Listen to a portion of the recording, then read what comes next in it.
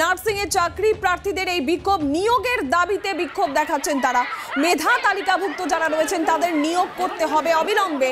এই দাবিতেই অবস্থান বিক্ষোভ। সেই ছবি আপনারা এই মুহূর্তে সরাসরি দেখতে পাচ্ছেন। আমাদের প্রতিনিধি নান্টু হাজরা রয়েছেন ঘটনাস্থল থেকে সরাসরি। নান্টু, যারা এই মুহূর্তে বিক্ষোভ দেখাচ্ছেন, তাদের সঙ্গেও যদি কথা বলা সম্ভব হয়, কি দাবি তাদের? আরও একবার শুনব।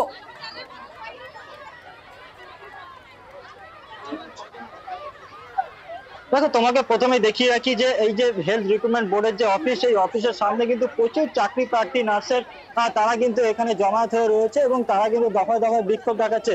আমরা একটু কথা বলে নেব যে আন্দোলনকারীরা আছে তাদের কি দাবি? কি দাবি তোমাদের? আমাদের দাবি সকাল থেকে একটাই যে আমাদেরকে চাকরিটা আমাদেরকে চাকরি দিতে হবে। আমরা যারা ইন্টারভিউ দিয়েছি যতজন ক্যান্ডিডেট ইন্টারভিউ দিয়েছি এতদিন পর্যন্ত যেটা হয়ে এসেছে এখন অব্দি খালি এতদিন পর্যন্ত যেটা হয়ে এসেছে সবাই চাকরি পেয়েছে আগের আমাদের সিনিয়র দিদিরা যারা ছিলেন কেউ বসে নেই। তাহলে সালে আমরা কেন আমাদের জন্য এই এই জিনিসটা কিসের জন্য? আজকে সিট ফাঁকা সত্ত্বেও কেন আমাদেরকে নেওয়া হচ্ছে না? এত এত ক্যান্ডিডেট বসে থাকা সত্ত্বেও কেন আমাদেরকে নেওয়া হচ্ছে না আজকে? হাজার হাজার ক্যান্ডিডেট বসে এখন কি চাইছো? আমরা চাইছি আমাদের যে ন্যায্য দাবি আমাদের আমরা যাতে চাকরিটা পাই আমরা জেনারেল হিসেবে যে চাকরিটা আমরা পেতে চাই যারা ক্যান্ডিডেট আমরা ইন্টারভিউ দেওয়া হয়েছে ইন্টারভিউ নিয়েছেন ওনারা যারা প্রত্যেকে আমরা সুবিচার পাই সেটাই এখন আমাদের শুধু দাবি। প্রতিনিধি দল গেল তোমাদের তারা এখনও কথা বলছে। যদি কোনো সুরাহা না হয় তাহলে কি করবে তোমরা? আগে বেরিয়ে আসুক বেরোনোর পরে দেখি ভেতরে কি কথা হয়েছে তারপরে আমরা ডিসিশন নেব। পুলিশের সাথে দেখলাম তোমাদের প্রচুর ধস্তাধস্তি হলো মানে কি বিষয় হয়েছিল পরিস্থিতি? ওনারা তো এমনি করেই যাচ্ছেন, আমরা তখন থেকে এরকম নর্মালি আমরা কথা বলছি, সব করছি, ওনারা হঠাৎ করে এরকম ওনারা কি ভেবে করলেন এটা ভগবানই জানে, ওনারা তো তখন থেকে আমাদেরকে যেটাই বলেছেন আমরা সেটাই শুনেছি, আমরা এটাই বলছি, বাইরে আসতে বলেন আমরা বাইরেও এসেছি, ওনারা আমাদের বললেন যে আমরা চারজন যদি ঢুকতে ওনাদের দেওয়া হয় তাহলে আমাদেরকে বেরোতে হবে, আমরা বেরিয়েও গেছি, তারপরও ওনারা কেন এরকম করছেন? খুব বলা মুশকিল।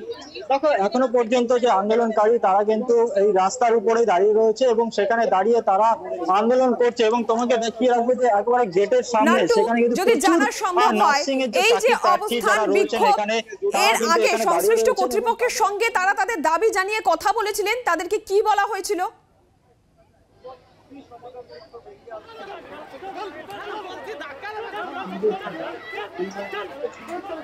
দেখো, সকালবেলায় যখন যখন দুপুরের দিকে যখন আন্দোলনকারীরা একেবারে এই যে অফিস এই অফিসের ভেতরে মেন গেটের সামনে বসে তারা যখন বিক্ষোভ দেখাচ্ছিল, সেই সময় পুলিশের তরফ থেকে বারবার তাদেরকে বোঝানো হচ্ছিল এবং এরপরে একজন জয়েন্ট সেক্রেটারি হেলথ রিক্রুটমেন্ট বোর্ডের তিনি কিন্তু তাকে পুলিশের তরফ থেকে তাকে নিয়ে আসা হয় এবং যারা আন্দোলনকারী তাদের কথা শোনার জন্য কিন্তু দেখা যায় যখন এই কথা তিনি বলছিলেন তিনি তাদের সমস্যার কথা শুনছিলেন এবং তিনি তার বক্তব্য বলছিলেন তখন একত্রিতভাবে আন্দোলনকারীরা তাদের তাদের বক্তব্য পেশ করছিল এবং যাতে ইতিমধ্যে তিনি বিরক্ত হয়ে তিনি আবার উপরে উঠে যান এবং বলেন যে আর তাদের এক প্রতিনিধি দল তার কাছে পাঠাতে এবং সেই প্রতিনিধি দল তাদের তাদের দাবি দাওয়া গুলো পেশ করবে এবং তাদের দাবি দাওয়া শুনবে। এই এই মুহূর্তে সেই প্রতিনিধি দল তাদের দাবিকে সামনে রেখে এর আগে তারা বলছেন যে যারা মেধা তালিকাভুক্ত যারা এই মুহূর্তে আন্দোলন করছেন বিক্ষোভ করছেন এর আগে তারা স্বাস্থ্য ভবনের আধিকারিকদের বা সংশ্লিষ্ট যারা কর্তৃপক্ষ রয়েছেন, যারা তাদের নিয়োগ করবেন, তাদের সঙ্গে যোগাযোগ করেছেন বা কথা বলেছেন, কি জানানো হয়েছে তাদের, নাকি একেবারেই তারা সরাসরি আন্দোলন করছেন? কথা বলা যদি সম্ভব হয় বিক্ষোভকারীদের সঙ্গে।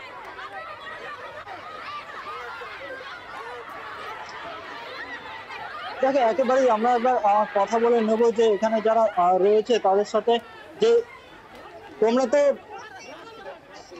তোমরা তো এর আগে আধিকারিকদের সাথে কথা বলেছ। হ্যাঁ। স্বাস্থ্য ভবনে গেছিলে। কি বলেছেন? কি বলেছেন এর আগেও তো আধিকারিকদের সাথে কথা বলেছ তোমরা দাবি নিয়ে স্বাস্থ্য ভবনে গেছিলে হ্যাঁ। সুবিধা না কোনো সুবিধা পাইনি। কি জানানো হয়েছে? আমাদের এটাই জানানো হয়েছিল যে আমাদের এতগুলো ক্যান্ডি এখনও আছে সেটা যেন ফিল আপ করা হয়। আমরা জিএনএম পাস আউট দু হাজার কুড়িতে পাস আউট হয়েছি। দুই বছর আমরা বসে আছি। এই রিক্রুটমেন্টের জন্য যে আমাদের রিক্রুটমেন্ট যেন পুরো ফুলফিল করা হয় কেন আমরা আমরা পর্যন্ত সুরাহা হয়নি। ধন্যবাদ নান্টু।